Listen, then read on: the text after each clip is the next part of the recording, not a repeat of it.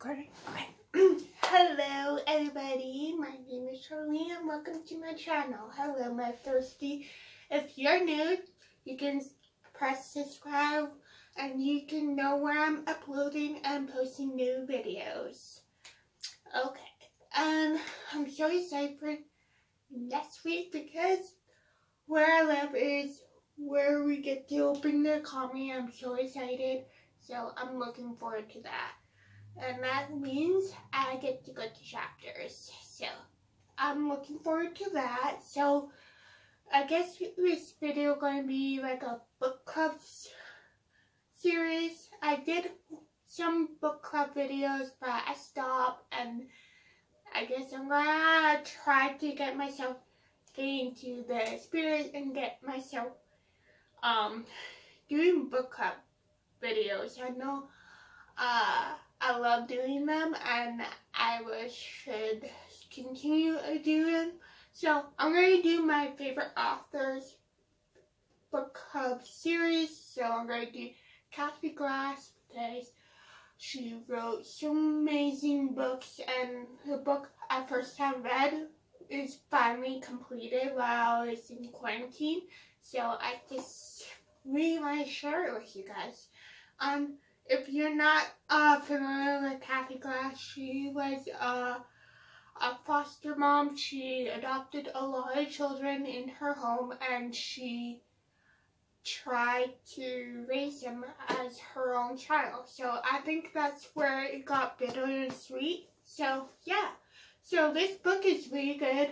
It's about a three-year-old girl and about a one-year-old boy who was in a different hard and toxic home environment and they were taken away from their birth parents and they finally clean up act and do better. So let's get into this video. I'm going to read the back. So please don't comment. Oh yeah, there's no comment because I don't, I have not want comments on videos because I just don't need comments. I don't need a comment say you need to do this differently, you need to do that differently. So I just have triggers for comments and um some negative comments. So that's why I don't have comments for my channel. So I apologize for that. If I know some people are good people, so you can comment on my TikTok. So I will put the TikTok handle down below in the description box. So let's get me reading the back. So it was a heartbreaking. A brother and sister torn from their parents and brought into foster care. Kit, 18 month old, had a broken arm, and his sister Molly was three, was withdrawn and scared. The parents said they weren't to blame, apparently to the date on their children. Could social services have got it wrong? If so, who caused the kid injury and why were the children in illness so often? The truth when it finally came out was unbelievable and far more shocking than I could ever imagine. So, some kids go into foster care. Some are good and some are bad homes, like bad placement. So, the first placement um, they went into was they were sick all the time because the foster parents who had them was trying to poison these two. Like, they will try to poison their food. Um, she was not a good lady. Plus, she was sick with um, mental health. So, I'm not going to mention her name because it happened in real life. This is a real life book. So, the cool thing about it, it has all the stories, different stories so that's why I want to go to chapters when the economy open, but it has the because um reading group discussion. So I will read them out loud and I'll tell them my um thought uh, opinion. so near the start of the book, Cathy said that no one wants to take children from their parents, but sometimes there is no alternative if they are be kept safe. Discuss. So, from my point of view, if a child was taken away from their bio parent, that means the parent is have trouble with drugs or have a drinking problem or who is mentally ill who never got help. So for my case, my bio mom was abusive, of course, but she did not have a good childhood or a good life. So she was was abused by my great and I'm not going to mention her name because it's just angered me that it's okay to abuse children. It's really not okay. And the other pro- reason why kids can go into foster care is because if a parent passed away or a parent who has a disability. It's just a different kind of disability. So, yeah. So I'll just read the next question and tell them what my thought.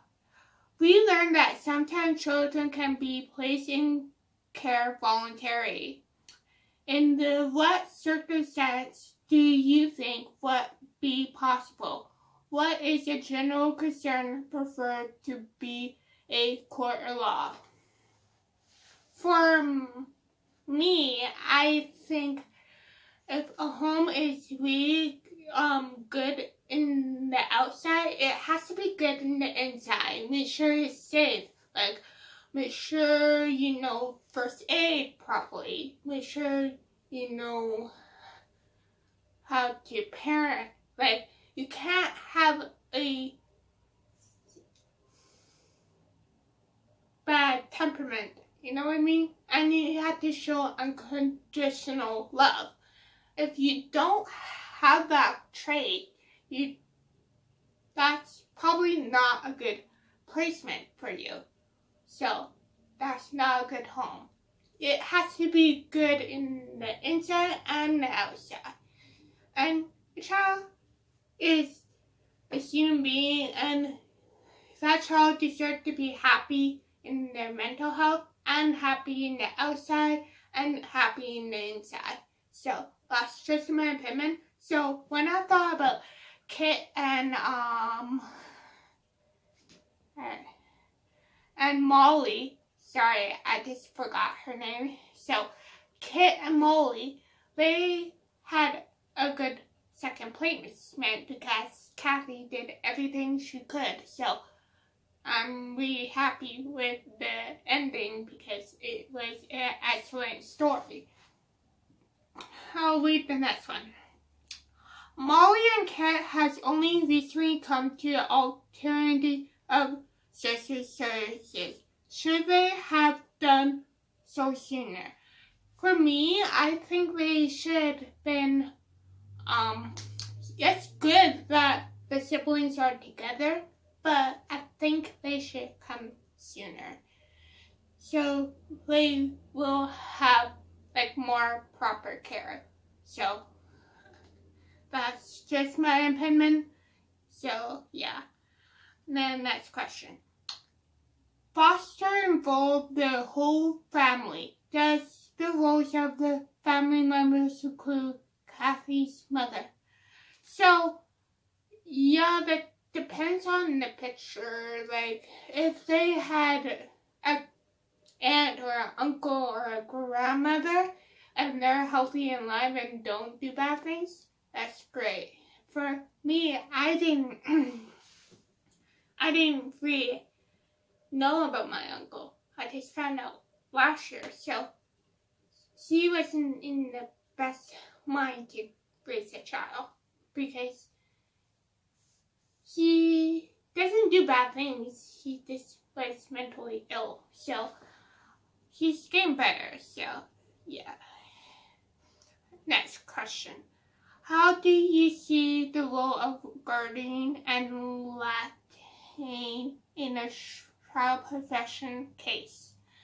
So, in I don't know how to answer this question because I was a foster child, so I wouldn't know how to garden uh, be a guardian because I don't have kids. I'm only 26 years old, but I try to do my best if I was allowed to have children. If I would do my best making sure the home is proper in the outside and in the inside. So, yeah. But I don't know how to answer that question. Describe the characters of Antesta and Flip. Cathy Intonation has empathy for them and its place. For me, um, sorry I have trouble pronouncing their names, but Nesta was the villain for the happening and honestly, yes, she needs proper treatment and help. But part of me said, no, I don't think she should have sympathy for her. And Flip just went along with it. So, because you can poison children, that's not okay. I'll just read the other question. Cathy was upset and angry when she found out what Anessa had been doing, and but managing remained professional. How difficult that miss had been. Honestly, I will, for me, I would struggle because I love kids and I don't think kids should be in harm and danger, so, or abuse. So I don't find that right, but she probably have struggled. I'm guessing she was confused and shocked and angry about it. That's what she said in the book. So I'm going to just leave that be. Discuss the nature of FDA Munch syndrome biopsy and what lead to person developing the illness. I'm guessing it'd be food poisoning or bleach or whatever. I'm not 100% sure. I'm not a doctor, so I'll go with that guess. And next question is, Antista make accusation against Cathy. How vulnerable are foster care to be unfound and eligible by angry parents? Yeah, there's some. Well, I hate to break it to you. Foster care is like unvulnerable anyway, and the system is unbearable. I don't think we're not taught what's good and what's bad in the world. Like, some people like manipulate you, some people will trick you, some people are evil. So I would suggest that you should learn your lesson you're wrong earlier. So that's just it. Next question. The judge returned Molly and Kit home with supervised orders. Do you think it was correct decision and why? Um, honestly, for me, to be honest, it was a bullshit decision because Cathy did nothing wrong, right? And she did everything. She went to classes. She went to um did everything for the kids. She gave unconditional love. She went to first aid classes. So I think it's, and she went all the doctor visits. So I think it's kind of bullshit, but the judge want to have supervised visits. So that's just my opinion of the book. And that is it. I hope you like this video. Please subscribe and hopefully I will get another um, book by Cathy Glass and hopefully I will read it and review it like I did for The Instance. So I think it's an amazing story and if you want to foster a kid, please do it. Do do it on the goodness of your heart. Don't do it for money because they're not bank-fishing. They're kids. They deserve to have a good, happy home. So, bye guys.